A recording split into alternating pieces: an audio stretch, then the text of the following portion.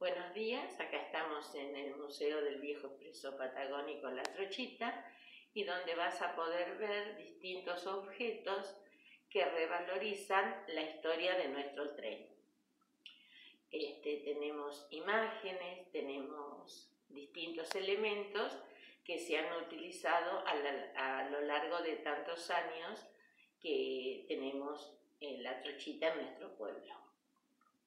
Nosotros tenemos horarios eh, de 8 de la mañana a 13, estamos en baja temporada, eso es lo que tenemos por ahora. Después en el verano se van a ampliar, pero bueno, ellos ya, la parte de turismo de la trochita van a informar los nuevos horarios.